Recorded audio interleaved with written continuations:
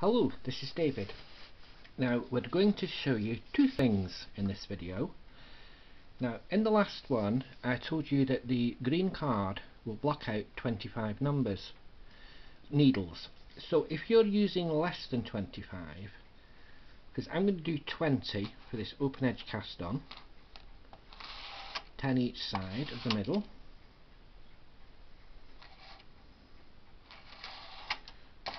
Now the green card isn't going to work because if you put it behind the needles like that, as soon as you approach it with the cast on hem, it just barges it out the way. Yes, the row counter will catch the middle one.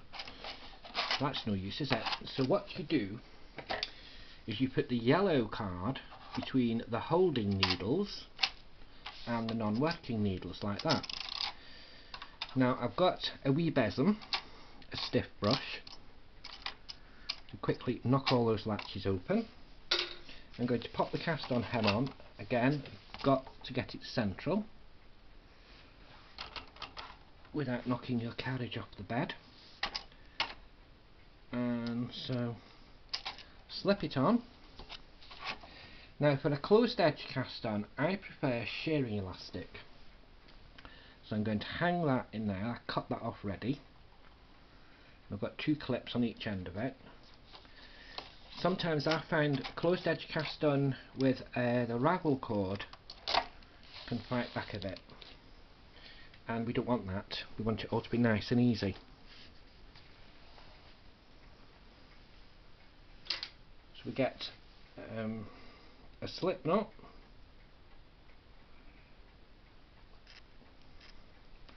Onto the single prong. And we're going to pop that straight onto the last left hand needle and a wee clip on the tail. And then we're simply going to wind this yarn counterclockwise round each of the needles. I'm using my single prong just to keep it back. You don't have to do that I just find it easier.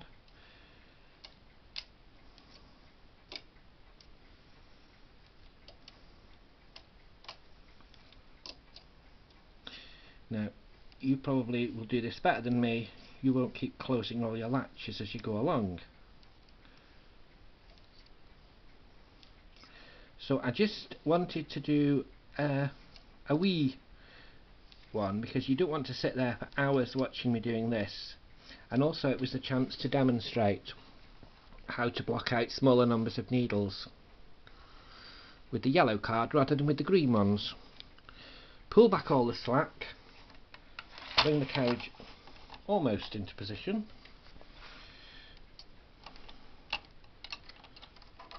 Making sure your yarn's properly in.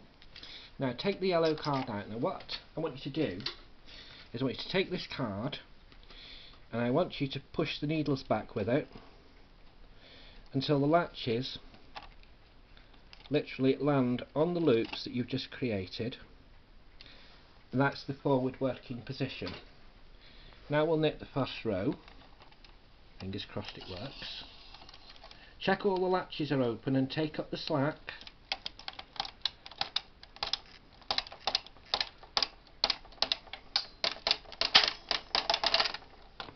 And we've knitted our first row and they've all knitted nicely so we can just knit now. Remember, yeah, I should have said in the open edge cast on video you have to take up the slack at the start of a row because if you don't you're going to get a big loop forming and it's going to spoil your knitting.